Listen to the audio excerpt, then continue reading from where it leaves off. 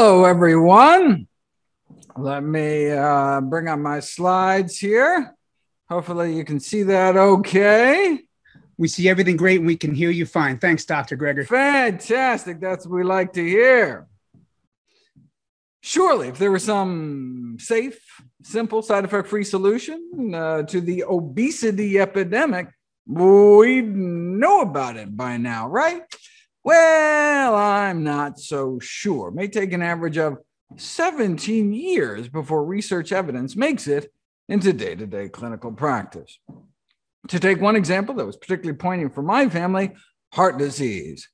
Decades ago, Dr. Dean Ornish and colleagues published evidence in one of the most prestigious medical journals in the world that our leading cause of death could be reversed with diet and lifestyle changes alone. Yet, hardly anything changed. Even now, hundreds of thousands of Americans continue to needlessly die each year from what we learned decades ago was a reversible condition. I had seen it with my own eyes. My grandmother was cured of her end stage heart disease by one of Dean's contemporaries, Nathan Pritikin, using similar methods. She was given a medical death sentence at age 65, but thanks to a healthy diet, um, after one too many open heart surgeries, uh, she was able to live another 31 years on this earth till age 96 to continue to enjoy six grandkids, including me.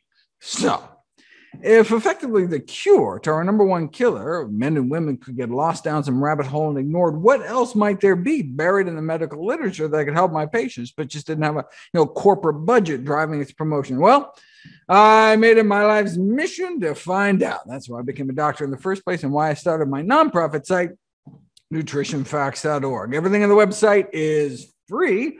There are no ads, no corporate sponsorship, strictly non commercial, not selling anything, just put up as a public service, as a labor of love, as a tribute to my grandmother. New videos and articles uploaded almost every day and the latest in evidence based nutrition. What a concept. Okay, so what does the science show is the best way to lose weight? If you want testimonials and before and after pictures, you have come to the wrong place.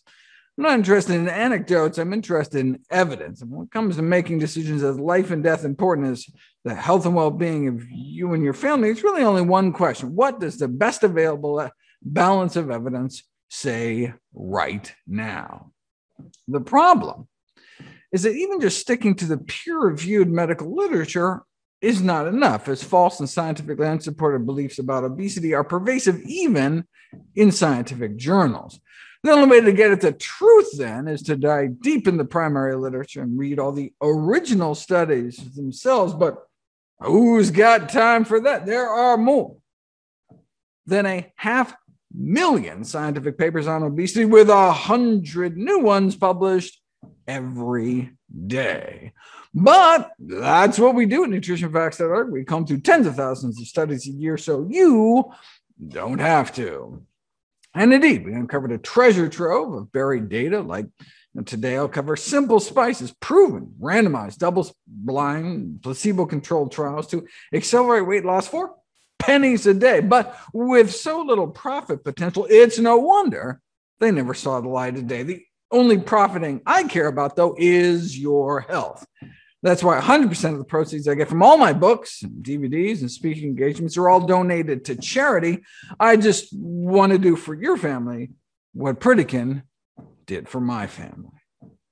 But wait, I mean, isn't weight loss just about eating less and moving more? I mean, isn't a calorie a calorie? That's what the food industry wants you to think. Uh, the notion that a calorie from one source is just as fattening as a calorie from any other, is a trope broadcast by the food industry as a way to absolve itself of culpability. Coca Cola even put out an ad emphasizing this one simple common sense fact.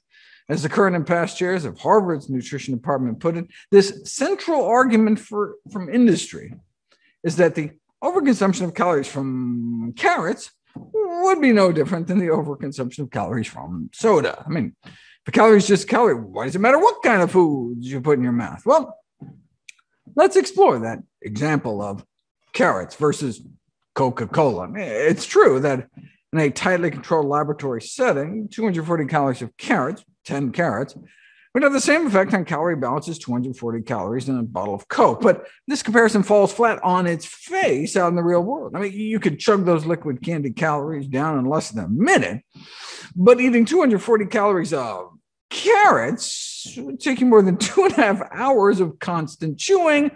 It's been tested. Not only would your jaw get sore, but 240 calorie carrots eh, is like five cups. You might not even be able to fit them all in. Right?